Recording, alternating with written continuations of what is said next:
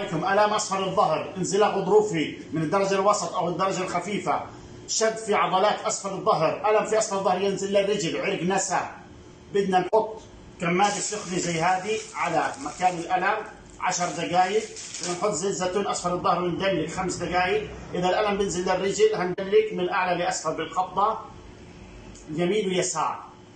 زائد تمارين علاجية من غير التمارين العلاجية ما بترجع طبيعي 100% وهشرح التمارين العلاجية لآلام أسفل الظهر والديسك وعرق النساء وغيره العلاجية والتأثيرية لآلام أسفل الظهر والديسك وعرق النساء. اللي بياخذ أدوية ياخذ أدوية ويشتغل تمارين. من غير تمارين ما بترجع طبيعي. رجال نساء عمره 17 10 80 سنة اعملوا التمارين هذه. نحط رجل على رجل بهدوء ننزل. مرة اليمين ومرة اليسار على قدر الاستطاعة طبعا. ونكرر يا جماعة نكرر نأخذ الركبة بالشكل هذا ونمد الرجل نعد أربع ثواني ونبدل. مرة يمين مرة يسار. تمرين للبطن بهدوء جدا. نسوي على قدر الاستطاعة العادة على قدر الاستطاعة. تمرين الجسر أو تمرين الكبري بهدوء جدا.